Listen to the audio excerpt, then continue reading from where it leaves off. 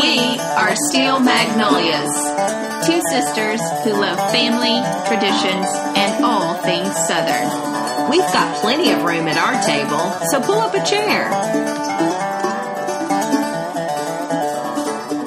Hey, Lainey! Hi, Laura Beth. It is summertime in the South, but not really. Not It's technically, but it feels like it. technically spring, and we've got a very spring topic today. You know, a lot of times we talk about food on this episode, cooking, recipes, and things like that.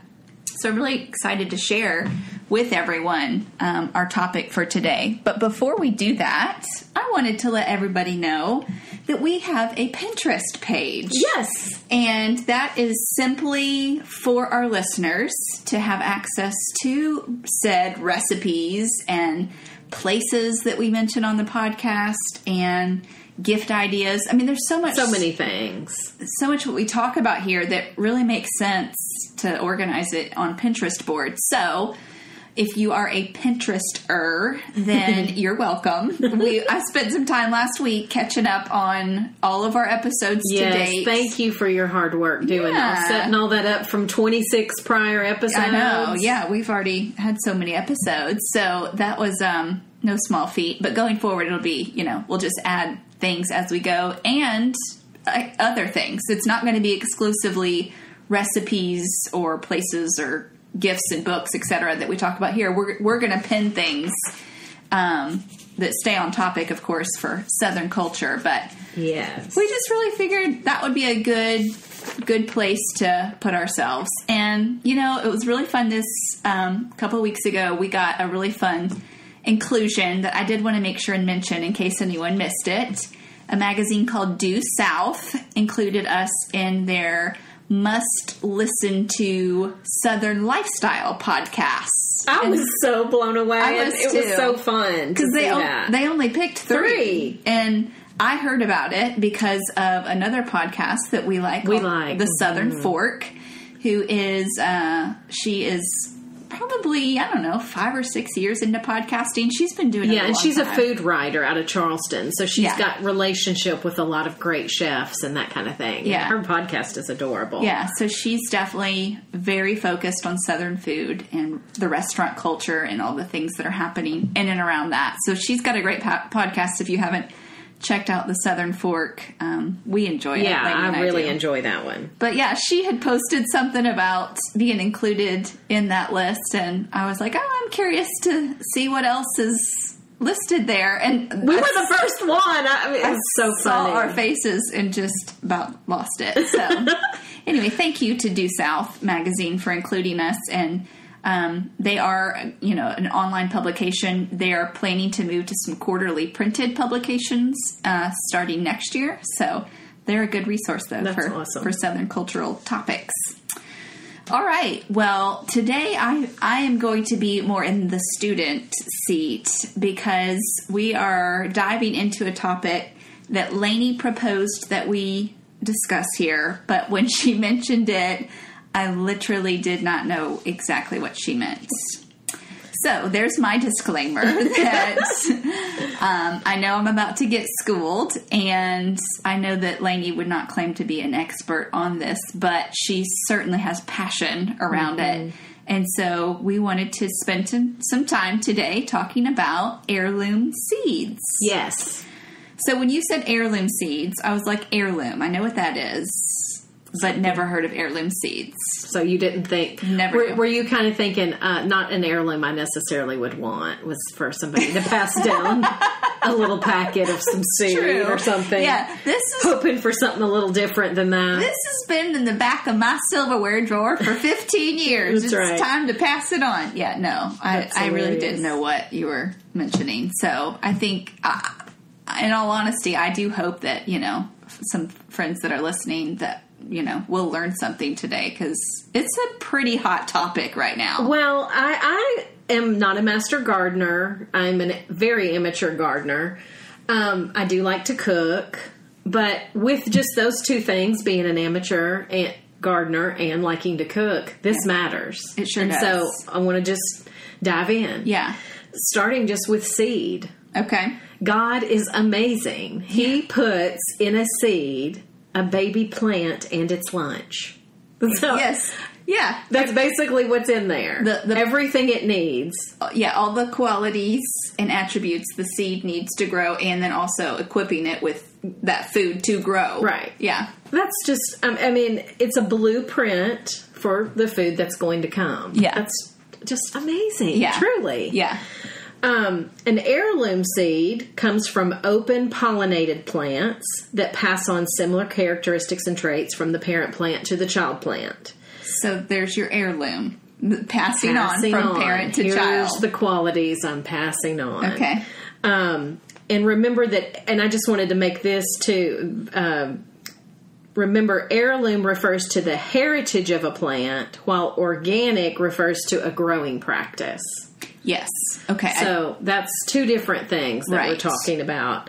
Um, and then a lot of people have probably heard GMO mhm, that's a big word that you see on that you see on now. things now non-GMO, non-GMO. A GMO is a genetically modified organism.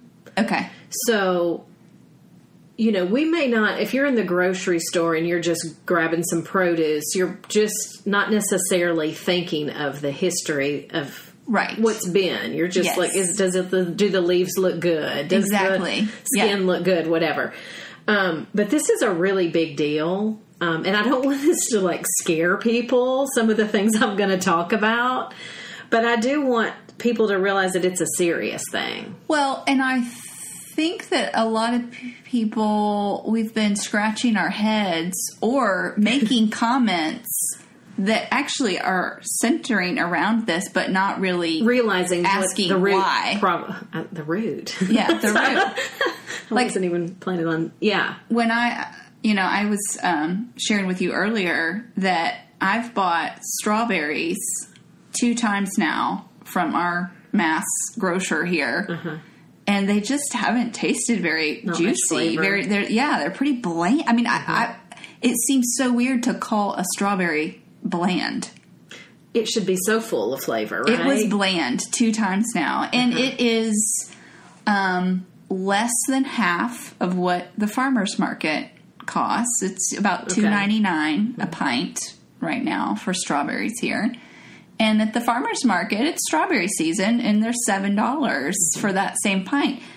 That th- there's a big difference in the taste and size. and the like size. this, Well, I had mentioned to you, like I've sometimes have bought my strawberries at Costco, and I like Costco. Nothing against Costco, but sometimes they're so big that it kind of freaks me out. Where I'm like, what What? is going on with that? Yeah. Like. I've never grown a strawberry that was that, That size. yeah. So when I see things like that, I've also kind of laughed at. Have you ever gotten a baked potato from a place like Jason's Deli? And I'm Massive like, spud. what? How did that even happen? Yeah. that that's so large. Well, I don't know that it's not some of this genetically modified Sure. stuff that's going on. Yeah, I guess that's what I was kind of con- trying to conclude was I think we're seeing this. We're just not even pausing to go beyond the saying that's weird. Yeah. That doesn't taste good. Yeah. But then that's kind of where we stop. So I'm going to go into a little bit of some things that are going on in the South that I think are great. Cool. But a lot of it came from chefs going, I'm still making this the same way I used to, and it doesn't taste the same. Hmm. What's going on? Big deal for a chef. Yeah. So that's partially exactly what's Yeah. been going on. Yeah. Where they're going, my food method's the same, Right. My cookware's the same, Yeah. My yeah. Whatever, my stove's the same. Yeah. What's going on? My it can only product. be the food. Yeah. So, Cool. um, And I have, I had, or I think I've seen somewhere that usually heirlooms are 50 years old. Is, do you think that's Um, most of the, I think everything that I've seen that name on is. Okay. It's hard to believe that things that are from the 60s are 50 years old now. Yeah. But yes, they are. okay? So, okay. and some of, yeah. Anyway. Okay. Okay. Well, so basically, there's a real crisis going on with seed today. It's affecting our whole food chain and the flavor and nutrition of our food. Yeah. So I'm not going to go into a lot of that either, but we all know there's this strange spike in gluten allergies. Absolutely. There's lots of things that are going on where we're going, hmm, things Yeah. that make you go, hmm. Yeah. Those allergies don't run in my family, or yeah. So, but that's Why am I the because first to there's have a- this? Mm-hmm. Strange things going on with wheat now. Yep. that kind of thing. So, in a nutshell, as most problems in the world, everything comes down to money and greed. I know. I hate that. Um, large companies they want more quality, larger size, more resilient to chemicals, so that they can more, more, more, more, yeah. more. Yeah. Um, and they're not concerned at all, really at all with the flavor. Yeah. I mean, flavor's at the bottom of the list of priority Sure. of what's important. And care for the farmer is not necessarily very high on that list either, but that's a whole Yeah, nother. because I don't think quality control is testing strawberries or any other produce going, this just isn't juicy enough. Right. No. It's I- like, how much did we get? Yeah. Great. Let's Yeah. try to get even more. Does it Go weigh- back to the lab and let's modify it again. does it weigh what it needs to weigh? Yeah. Okay. Yeah. So, um, right now, and I just think this is pretty interesting, there's three companies control 60% of the world's seed and nearly 70% of its agriculture agricultural chemicals and pesticides. What? The world, not U.S. The world. That's what I'm saying this is a global Wow. problem now.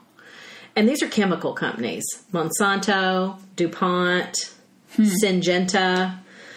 Um, I got tickled, Marvith. I don't know if any of our listeners will even know this, what I'm talking about, but you'll know what I'm talking about. In a Jewish um, synagogue, when they read the book of Esther during the season of Purim, Okay. whenever they say the name Haman, what does everybody do? Boo.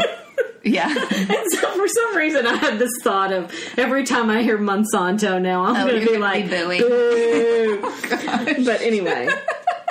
There's also some strange things happening. I, again, I'm not a scientist nor a master gardener, but 70%, 75% of crops have disappeared from 1900 to 2000. Things are just disappearing Okay. um, because there's so much um, like I don't.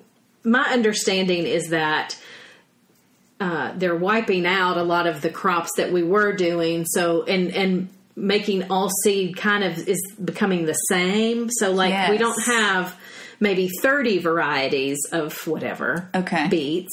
yeah. this one we've got so resilient now that it can grow anywhere in the world and so we have this one kind does that make sense Yes. there's- that's a huge so that's, percentage That's wiping out the other varieties then. and yeah. where are where are, Where are those they? seeds Yeah. maybe hopefully somebody's holding on and doing them in their backyard somewhere and we're going to be able to revive it which i'm going to talk about some things that are happening in the Yeah. south but That's this is a big deal 75% of crops have disappeared from 1900 to 2000 changing more in our lifetime than all time before that Whoa. so um, Wow. there's things That's that are going on that we you know I, i'm not going to be able to one person change all of this but i can maybe do my part in supporting some seed that is healthy Yeah. and growing it in my little garden Right. or whatever so that's kind of where we're going with this and so i wanted to mention two names of people that i came across in looking this up that are really important in the south Yeah. One uh, is named David Shields. Okay. He's a professor at the University of South Carolina. Okay. And the other is Glenn Roberts, who's the founder of Anson Mills in Columbia, South Carolina. Oh yeah, we've So discussed I've them mentioned before. their grits. And Yes. I told you I got some of their farro and grits and um, a few different things. So these two guys have been nicknamed Flavor Revivalist. oh, I love it. And I just love that um, they're partnering together to kind of make this heirloom seed thing. They're, they've taken it very seriously I, sounds like it. and put, I'm talking about decades of time Wow. into. In fact, David Shields, um, well, I'll, I'll just jump in and, and read a little bit about them. Okay. And you're going to appreciate some of these things because it's similar to some of the things you've already said. So, whether you know it or not, you've been missing out. You've never tasted a single sweet bite of Bradford watermelon, which David Shields calls one of the absolute finest melons ever created. Or a fat, tender stalk of palmetto asparagus, a southern staple until higher yielding varieties crowded it off the market in the 1920s or the sweet, tasty Carolina African peanut the original southern peanut brought from West Africa in the 16th century. But thanks to Shields and his informal collaborator Glenn Roberts, among others, it won't be long until you can feast on all these once lost southern flavors. I just love So the, all of the ones that they just mentioned there, do they have seeds for them? Like, are are, are, are they saying that like a Bradford watermelon? We've has, got it now. Yes. Really? Yeah. So it's almost like there's like an endangered seeds list. Oh, it's yeah. Maybe but we don't maybe even necessarily is. have the li- full list. But yeah, things are definitely endangered. Okay. So I, I just find this fascinating. Huh. So, in fact, even just in talking about watermelon, and I was listening to something, I don't have the notes here, but they were talking about with watermelons, a lot of the really flavorful watermelons had thin rind. Well, companies hated that because when they loaded them up on the trucks to deliver them, all the bottom ones were crushed. Yeah, you can't So sling them around as easy. We're going to genetically modify so the rind's real fat, and I can pile them high and get them to the grocers and uh, it doesn't matter if they don't have any flavor. The rind's thick enough that I can pile them high and get them to the store. Well, I've wondered before, how is a seedless watermelon even possible? Like, it has to be injected with something to not. They've modified it. yeah, And again, I'm not a scientist to tell you how all that right. works. but something had to have been God didn't make it yeah. like to be like yeah, that. if there are seed seeded water, if watermelons grow with seeds, then a seedless watermelon has been had to be changed. tweaked in some way. Yeah. So I, I yeah. Um, wow. So these guys, they research and spearhead the return of some of the tastiest grains, seeds, fruits, and vegetables the South ever produced, but which during the last century vanished from fields, seed catalogs, menus, and dinner tables. wow. So this this professor has been combing through dusty archives and obscure 1800s ag journals in search of culinary gems. He's enlisted farmers to bring back um, these heritage grains, beans, and other all but forgotten crops such as Carolina gold rice and Sea Island red peas. So these guys are in South Carolina, so they're really focusing mostly on, the low country Yes. things Makes that sense. have been that You have, have to start somewhere too. Right. Yeah. Um, but I, anyway, um, Wow, that is a lot of work. a lot of work. Yeah, going through it back and going. Oh, I've never seen this. Let's look dig into that. Oh, I've never even heard of this. Let's dig into that a little bit. Yeah, I- who ha- who was growing this? Do they have descendants? Like, would they possibly? Yeah, have any of the seeds somewhere? It's like a whole nother version of ancestry.com. so true. Seedancestry.com. So true. So Glenn Roberts and other like-minded growers mimic the ingenious methods of their 1800s forebears. Planting different crops together, for instance, and deploying specific crop rotations over a seven year cycle. Now, I got kind of tickled when I read that Seven years. because I went, hmm, this is interesting that God gave us a lot of scriptures that reference how to do That's biblical. that's biblical. yeah. I looked up a couple of scriptures. There were so many that I thought, well, I'm not going to do a whole Bible study on it, but you know, just a few of the scriptures. Exodus 23:10 says, "For 6 years you are to sow the fields and harvest the crops, but in the 7th year you must let it rest and lie fallow." Deuteronomy 22 9, you shall not sow your vineyard with two kinds of seed, or all of the produce of the seed which you have sown, and the increase of the vineyard will become defiled. Yeah. So he lays out these things of how we're to do things well, but we don't always. it's like our days of the week. You know, technically we have six days, and then the seventh is supposed to be rest. rest. Sabbath rest. And so, same, Same with for our fields. cycle. They need and and yeah, a lot of this. So, that, was this like an aha moment in science? Like, oh, the best way to do it is. They probably tried lots of different things and went, "Oh, that first way was better." It's a seven year rotation. Interesting how we do that, isn't it? Yes. Um, some, and this was just another thing part I found interesting here. Sometime during the 20th century, low country food recipes from South Carolina and Georgia, a genre of cooking that had remained unchanged for generations, began to taste markedly different to those who had distinct memories of how dishes were supposed to taste. Yeah.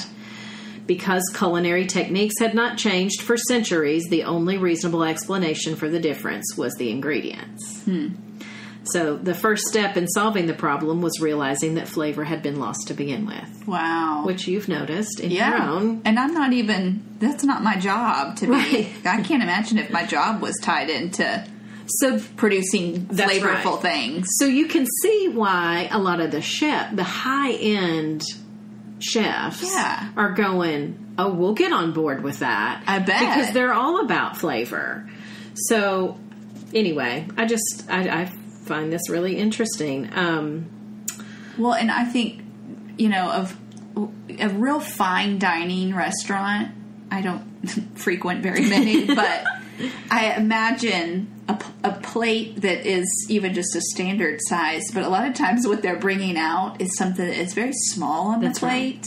And so you don't have a lot of room to mask whatever you're serving in other things. It's like it's true. There's maybe like three bites and isn't in it what you're serving. So if the first, you know, it's not like you're going to get to the gooey part or going to get to the sweeter part. Like if the food's not flavorful, it's only got a few bites to do it. In That's some right. of these fine dining places. That is so true, Larva. That's a great point. And it really shows you that their mindset is actually the opposite of these huge companies. It's Right. not about how much. They're like, oh, just you just need this much. Yes.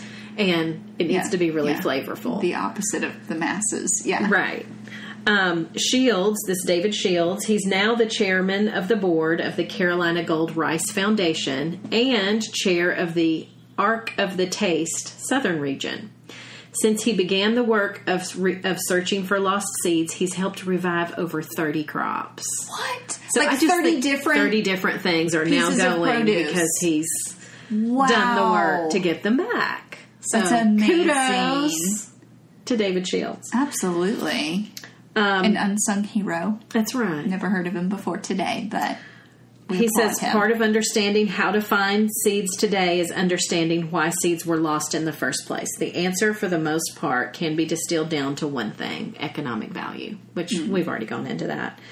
um, fancy way of saying mo money, mo problems. Exactly.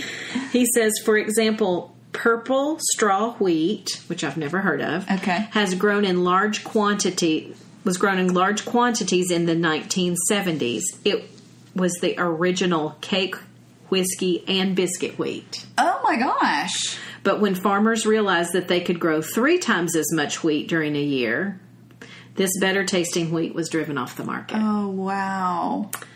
So, this is the kinds of things that are going on. Um, he says, as we've streamlined our agricultural processes, focusing on producing the greatest quantity of crops in the quickest way possible, flavor has been the real loser. When it was formerly what guided how we ate. Yeah. Farmers started using more productive seeds that relied on petroleum based fertilizer rather than older varieties which relied on complex root systems for nutrient sake. Okay. Um, so I watched a movie that I wanted to mention on that was just on YouTube. Like a documentary? really good. It was a documentary and it's called Seeds of Freedom. Okay. Um, so I'll give you the link to Okay. put up I'll on put it in our It's show notes. Under 30 minutes. Was it on YouTube? It was, and it's narrated by Jeremy Irons. If you remember him, Oh yeah. He was um the no. he was in lots of things, Yeah. but he's just the narrator. But it literally goes global. I mean, they were interviewing people in India and people in Africa and farmers that Okay. say, "Oh, well, you know, for so long we grew our food this way, but these big companies came and offered us seed and offered us fertilizer and Okay. like made this look all great. Yeah, like we're- they started then using doing mm-hmm. the way they were told to do it, mm-hmm. And now they can't even They get can't their even get old back. back. Yeah. because the seeds are gone. And then another thing that's also really sad, but I can see how it could have happened, is let's say in this little village in India that they were growing, let's say, 30 different things. Okay. Well, this company says, you know what? We'll give you more if you'll just grow this one thing. Mm-hmm. All this one thing. Yeah, use all the all of your land. So let's say do they're this. doing all tea now. Yeah. Well, they can't feed their village now because they were having enough of different things Right. that they would try, you know, barter and that kind of thing. Well, now everybody's doing the same thing. Man can't live on tea alone. That's right. Yeah. So it's a big deal. It what we're talking about is a really big deal when you think about that three companies could be holding so much of the world's food supply Right. in the palm of their hand. Yeah. So Wow. anyway, what do we do? Right? I guess we just want to What do we do, and what do we do here as Southerners, especially since we focus so much on Southern Right, culture? right? And we have some great. I, I think of the the probably heirloom seed I think of when I'm as a Tennessean Mm-hmm. is the Cherokee tomato. Have you ever seen the Cherokee tomato? It's almost a purple color No. and it's really big. Okay. Um, but it was planted. I actually looked it up in the 1880s by the Cherokee Indians. Okay. Who was that's where it got its name. I don't know where that you know where originally it Yeah. may have just God put it here. I don't know Exactly. Yeah. but um, anyway, that one is still around, but I don't see it in stores for sale. But I've bought those Cherokee Okay. seeds before. Okay. It's a good tomato for like a sandwich or something because it's so big. Yeah, and yeah. Mm-hmm. I just I think the color's really cool. It doesn't look quite as it's like a reddish purple. Okay. I know what you're talking about now that you're saying Okay. tomato sandwiches. Yeah. Yeah. Yeah. Um, but anyway, I, I do have a couple of seed companies I just wanted to mention. Sure. If people are thinking, oh, I want to get uh, some good heirloom seeds Right. from that grow in the South. Okay. Um, one is a company called Southern Exposure Seed Exchange. They're out of Virginia. Okay. And on their website, they have a whole section for heirlooms and they have a section for things that grow in the Southeast. Okay. So some of that's Makes- overlap, so, yeah. even. Yeah. But um, But if you're here Something to and check out. growing something that does well here, right, yeah. that's some you know they they have that spelled out pretty easily on their website. Uh-huh. And another one is called AppalachianSeeds.com. Okay. So they have a lot of the heirloom varieties and um, things like that on their site as well. And then I also wanted to mention that Sean Brock, who is a chef that became famous out of Charleston, is now here in Nashville and is working on a sounds like a pretty big project. Project. Um, Yeah. kind of a salute to Appalachian food culture. yeah. His place is going to include an heirloom seed bank where you can go and buy heirloom seeds there. Cool. Um, and he's definitely in friendship with this David Shields. And, Right. Um, so I've seen them on a couple of sh- TV shows together. Well, that's cool because that really does. I mean, I guess any restaurant or um, farmer could tell you, you know, it's an heirloom variety that you're eating. But if you could actually go see at the restaurant that what they're growing, they're Yeah. also selling those same seeds. Yeah, you would know even Then what going to really get. know, yeah. you're not just getting the blueprint; you're getting Right. the blueprint and seeing Yeah, that. yeah. and he's super passionate about this subject. Um, in fact, I don't know if you've ever seen a picture of him. His got this whole sleeve on. I think it's his left arm of vegetables, No way. and that he's passionate about. Wow. And so I just think that's that's whole dedi- nother level That's of dedication in a modern way. Um, and then there's also this concept of a seed library where I don't, I haven't seen this in action, but I did look it up online where you would go in to a place, check out a seed. I don't know the full process of this, but Right. I, I believe the expectation is you're going to go grow this The seed. plant Uh-huh. and then bring some seed back. Wow. So I don't know what the timeline is on all of this checkout process, It seems like a lot to manage on the the end of whoever's checking it out. absolutely. But kudos to them for taking it on. But I mean, put it also puts power in the hands of the people. I know. to help I to not just make make these two guys that are passionate about it and have Right. them do all of it. Right. Like Let's get all of Isn't us that involved. That's interesting. So, um, Checking out seeds. if you if our listeners know of any seed libraries in the South, I sure would love to yeah. see more on that. Well, my guess is that it, they're going to be growing too, in the same way that I think awareness of just the backstory of food is Yeah. growing. Yeah. I'm sure we'll have more seeds. So, uh, you know, I don't know that we're going to be able to change the world's food supply, but I'd like to change the food that I have in my own kitchen a Yeah. little bit. You Yeah. know, if I can grow a few things and keep a few things going yeah. that are um, important to my region, I want to Yeah. do a little bit to help with that. Yeah. So if you got to pick one seed So, ooh. that you were that you would you know you're going to go check it out and you're going to tend to it, what's the This is a great question. What do you I was interested in this. Um, well, I guess when I think Southern things, I do think um, tomatoes, Tomatoes. corn. yeah But even if the wheat that we were using that was the best for biscuits and whiskey That's and all the one that is stood gone, out I'm to like, me. maybe the that the our if our biscuits and our whiskey are in our original cake. being tampered Wheat with and have been have lost their original stamina and flavor. and that's been in my lifetime, Right. That that's happened, Yeah. Because it says in the seventies it was still That's crazy. So it's been since my lifetime that that's gone away but doesn't that also mean it might have a better chance of somewhere. making It's a not too far away. Yeah. yeah. So I might want the purple straw wheat. Okay, that's what I mean. When you were saying things uh, earlier, I was that's the one that stood out to me.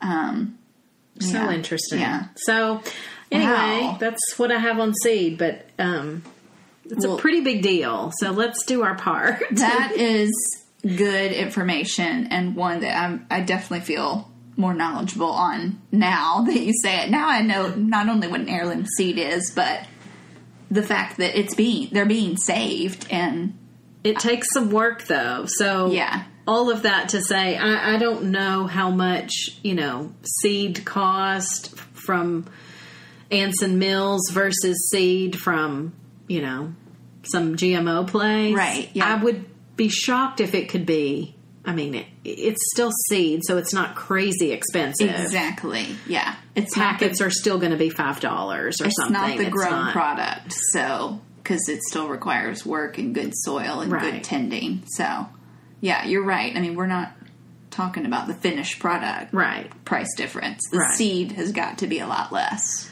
But um, I think even if we could just change our mindset to flavor and not just quantity, like you Yeah. were, let's go back to your strawberry example. Okay, so you maybe could get a huge thing of strawberries for two ninety nine, or seven dollars for a smaller thing. But if it's got more flavor, do Yeah. you even need as many? Well, no, the they're sitting in my the- refrigerator going bad because I already tasted several of them and they weren't any good. So basically, I paid two ninety nine for like five strawberries. right.